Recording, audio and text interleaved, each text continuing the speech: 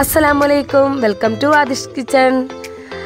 അപ്പോൾ ഞാൻ ഒരു കുഴിമന്തിയുടെ റെസിപ്പിയുമായിട്ടാണ് ഞാൻ വന്നിട്ടുള്ളത്. പെട്ടെന്ന് തന്നെ നമുക്ക് റെഡിയാക്കാൻ പറ്റുന്ന ഒരു നാടൻ രീതിയിലുള്ള കുഴിമന്തിയാണ്. അതിനു മുമ്പ് സബ്സ്ക്രൈബ് ചെയ്യാത്തവരുണ്ട് സബ്സ്ക്രൈബ് ചെയ്യുക. വീഡിയോ ഇഷ്ടപ്പെട്ടാൽ ഷെയർ ചെയ്യുക ലൈക്ക് ചെയ്യുക കമന്റ് ചെയ്യുക. നമ്മൾ റെസിപ്പിയിലേക്ക് കിടക്കാം. ഞാനൊരു മൂന്ന് കിലോ ചിക്കനാണ് ഇവിടെ എടുത്തിട്ടുള്ളത്. അതിനെ നാല് കഷ്ണങ്ങളാക്കി മുറിച്ചിട്ടുണ്ട്. അതിലേക്ക് കത്തിയോട് നല്ല മുറി ഇട്ട് കൊടുത്തിട്ടുണ്ട്. നല്ല ഉപ്പും ഇതെല്ലാം പൊടിക്കാൻ വേണ്ടിയിട്ടാണ് അങ്ങനെ ഇട്ട് കൊടുത്തിട്ടുള്ളത്. ഇതാ ഇങ്ങനെയാണ് ഞാൻ ചിക്കൻ എടുത്തിട്ടുള്ളത്. ഇനി നമുക്ക് ഇതിലേക്ക് എന്തെല്ലാം വേണ്ടെന്ന് നോക്കാം.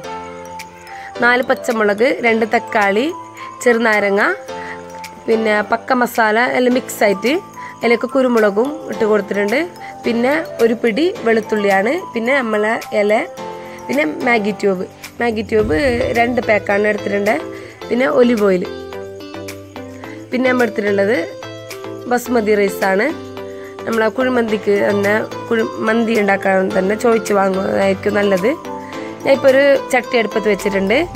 ഞാൻ ഒരു കപ്പ് അരിയെങ്കിൽ അതിൽ രണ്ട് കപ്പ് വെള്ളമാണ് ഞാൻ അരിക്കെടുത്തിട്ടുള്ളത് അതിലേക്ക് ഉപ്പിട്ട് വെച്ചിട്ടുണ്ട്. നമ്മൾ ഇപ്പോൾ ഇവിടെ മാറ്റി വെച്ച സാധനമുണ്ട്. ഇതിലേക്ക് ഇട്ട് കൊടുക്കാം. എല്ലാം ഒന്നിച്ച് തന്നെ ഇട്ട് കൊടുക്കാം. ഉപ്പ് തേഞ്ഞില്ല എന്നുണ്ടെങ്കിൽ മാത്രം നമുക്ക് പിന്നീട് ഉപ്പ് ഇട്ട് കൊടുക്കാം. നോക്കിയിട്ടായിട്ട് ഇട്ട് കൊടുക്കാം. ഇത് പെട്ടെന്ന് തന്നെ നമുക്ക് റെഡിയാക്കി എടുക്കാം. ബാക്കിയുള്ള പോലെ കുറേ ഒന്നും എടുക്കുന്നില്ല. കുറേ സാധനം ഇതിനൊക്കെ ഉപയോഗിച്ചിട്ടില്ല നമ്മൾ. ഇതുണ്ടാക്കുമ്പോൾക്ക്. ഈ അരി വേവണ്ടും കോഴി വേവേണ്ട ഒരു ടൈമേ നമുക്കിതിൽ പോകുന്നുള്ളൂ പെട്ടെന്ന് തന്നെ റെഡിയാക്കാൻ പറ്റുന്നതാണ്. ഇനി നമുക്ക് ഇതിലേക്ക് ചിക്കന് ഇട്ട് കൊടുക്കാം. പിന്നെ വെളുത്തുള്ളി ഇടുമ്പോൾക്ക് ഇതിന്റെ തൊലി കളയേണ്ട ആവശ്യമില്ല. മുകളിലുണ്ട തൊലി മാത്രം കളഞ്ഞങ്ങ് മതി. പിന്നെ അതിന്റെ ഫുള്ള് തൊലി കളയേണ്ട ആവശ്യമില്ല. തൊലിയോടെ തന്നെയാണ് നമുക്ക് ഇടേണ്ടത്.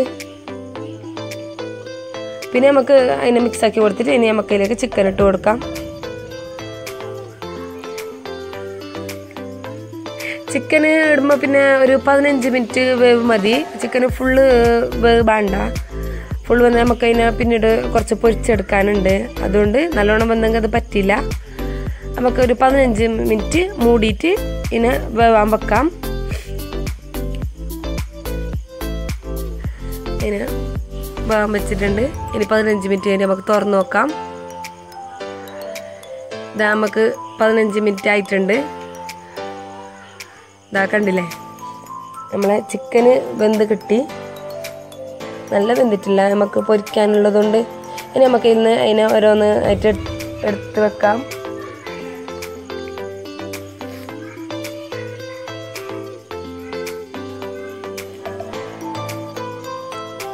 വേറൊന്നും എടുക്കണ്ട. അതിന് ചിക്കൻ മാത്രം എടുത്ത് മാറ്റിയാൽ മതി.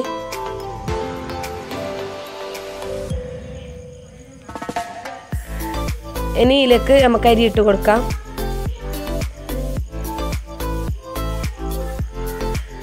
അരി ഇട്ട് കൊടുത്തിട്ട് അരി വേവുമ്പോൾക്ക് നമുക്ക് ചിക്കനെ കുറച്ച് മസാല ആക്കിയിട്ട് പൊരിക്കാൻ വെക്കാം.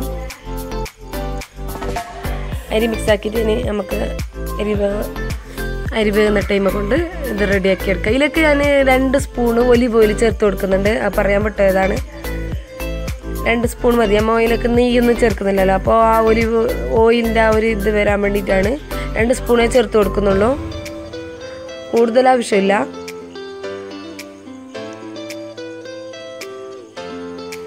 ഇനി നമുക്ക് അതിനെ മൂടിയിട്ട് പിന്നെ മസാല ചേർക്കാൻ ചിക്കന് ഞാനിവിടെ ഗരം മസാലയാണ് എടുത്തിട്ടുള്ളത്. അത് നിങ്ങൾക്ക് വേണമെന്നുണ്ടെങ്കിൽ മാത്രം ഉണ്ടാക്കിയാൽ മതി. നമുക്ക് പിന്നെ കുറച്ച് മസാല എരിവെല്ലാം ഇഷ്ടമുണ്ടോണ്ട് കുറച്ച് ഗരം മസാല കുറച്ചിലൊക്കെ മുളക് പൊടി ഇട്ടിട്ടുണ്ട് കാശ്മീരി മുളക് പൊടി. നിങ്ങൾക്ക് വേണമെന്നുണ്ടെങ്കിൽ നിങ്ങൾക്കത് ഇടാം. അത് ഞാൻ ഇടാൻ കാണിക്കാൻ വിട്ടുപോയതാണ്. അപ്പോൾ ഞാൻ ഈ ചിക്കനെ പൊരിച്ചെടുക്കുന്നത് നെയ്യിലാണ്. ഒരു രണ്ട് മൂന്ന് സ്പൂണ് നമ്മൾ നെയ്യ് ഇട്ട് കൊടുത്തിട്ടുണ്ട് അതിലേക്ക് ചിക്കന് ഇട്ട് കൊടുക്കാം. പിന്നെ ഇത് വേവേണ്ട ആവശ്യമൊന്നുമില്ല. നമ്മൾ തിരിച്ചു മറിച്ചിട്ട് രണ്ട് മൂന്നിട്ട് ഇങ്ങനെ അങ്ങോട്ടും കൂട്ടാക്കിയിട്ട് ഇട്ട് ഇട്ടാൽ മതി. ഓരോന്നായിട്ട് നമുക്ക് ഇട്ട് കൊടുക്കാം ചിക്കന്.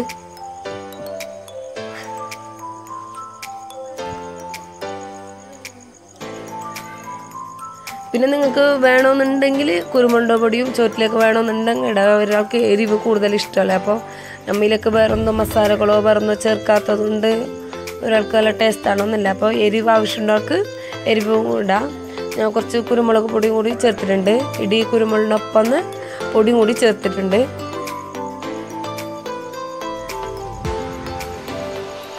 അപ്പോൾ നമ്മളെ ചിക്കന് ഇത് ഞാൻ മറിച്ചിട്ട് കൊടുക്കാം നമുക്ക്. അപ്പോൾ നമ്മളെ ചിക്കൻ കൂടി റെഡി ആയിട്ട് വരുന്നുണ്ട്.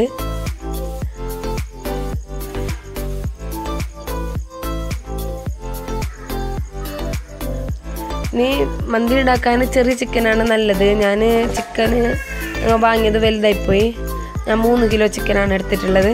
അപ്പോൾ ചെറുത് രണ്ടെണ്ണം വാങ്ങിയാൽ മതി. അപ്പോൾ നമുക്ക് നമ്മളെ ചോറിന്റെ പാകം നോക്കാം. എന്താ ചോറ് നല്ല പാകമായിട്ടുണ്ട് കണ്ടില്ലേ? ഇനി നമുക്ക് ചോറ് ചിക്കന്റെ മുകളിലേക്ക് ഇട്ട് കൊടുക്കാം നമ്മൾ ഈ ചിക്കൻ പൊരിച്ച പാത്രത്തിലാണ് ദമ്മിടുന്നത് ഇതിലേക്ക് കുറച്ച് കുങ്കുമപ്പൂവ് പാലിൽ ചേർത്തിട്ട് ഇട്ട് കൊടുക്കുന്നുണ്ട്. കുറച്ചേ ഉണ്ടായിട്ടു എന്റെ അടുത്ത് കുങ്കുമപ്പൂവ് അതുകൊണ്ട് കളർ കുറച്ച് ആയിട്ടു. അപ്പോൾ ഇത് നിരിപ്പാണ്. ഞാൻ തീ നിരിപ്പ് അതിലേക്ക് ഒലിവ് ഓയിൽ കൂട്ടി കൊടുക്കുന്നുണ്ട്. മണം വരാൻ വേണ്ടിയിട്ടാണ് അത് ചെയ്യുന്നത് ഇങ്ങനെ. അപ്പോൾ നമുക്ക് പത്ത് പതിനഞ്ച് മിനിറ്റ് ഇങ്ങനെ ദമ്മിൽ വെക്കാം ചോറ്. നമ്മളെ ചോറ് റെഡിയായി. ഇതാക്കണ്ടില്ലേ നമ്മളെ ചോറ് റെഡിയായി. ഇത് ഇതിൽ കാണുന്ന പോലെ അല്ല അതിനേക്കാളും നല്ല സൂപ്പറാണ് ടേസ്റ്റ് നല്ല സോഫ്റ്റ് ആയിട്ട് നല്ല രസമുണ്ട്. അപ്പോൾ എല്ലാവരും ഇങ്ങനെ ഉണ്ടാക്കി നോക്കണം എന്നിട്ട് അഭിപ്രായം പറയണം. ഇത് കുങ്കുമപ്പൂ കുറച്ചുണ്ടായതുകൊണ്ടാണ് ബാക്കി കുങ്കുമപ്പൂവിനെ അതിലേക്ക് നെട്ടത് അതിന്റെ കളറാണ് ഈ ചുവപ്പ് കാണുന്നത്. അപ്പോൾ സൂപ്പർ ടേസ്റ്റാണ് അപ്പോൾ എല്ലാവരും ഉണ്ടാക്കി നോക്കണം.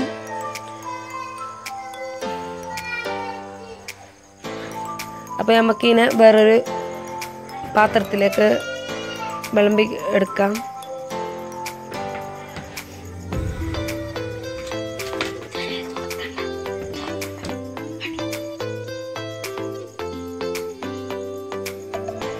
വേറൊരു മാറ്റി പാത്രത്തിലേക്ക് വിളമ്പിയിട്ടുണ്ട്. ഇതാ കണ്ടില്ലേ നല്ല ചിക്കനും നല്ല സോഫ്റ്റ് ചോറും നല്ല സോഫ്റ്റ് നല്ല ടേസ്റ്റിയാണ് അപ്പോൾ എല്ലാവരും ഇങ്ങനെ ഉണ്ടാക്കി നോക്കണം. എന്നിട്ട് അഭിപ്രായം പറയണം. വെറുതെ പറയല്ല ഇതിങ്ങനെ ഉണ്ടാക്കി നോക്കിയിട്ട് കഴിച്ചതുകൊണ്ടാണ് ഈ അഭിപ്രായം പറയുന്നത്. അപ്പോൾ ഇതാ കണ്ടില്ലേ അപ്പോൾ എല്ലാവരും ഇഷ്ടപ്പെട്ടാൽ ഷെയർ ചെയ്യുക ലൈക്ക് ചെയ്യുക കമന്റ് ഇടുക. സബ്സ്ക്രൈബ് ചെയ്യാത്തവരാണ് സബ്സ്ക്രൈബ് ചെയ്യുക. അപ്പോൾ പുതിയൊരു വീഡിയോ ആയിട്ട് വരുന്നതായിരിക്കും. അതുവരെ ബൈ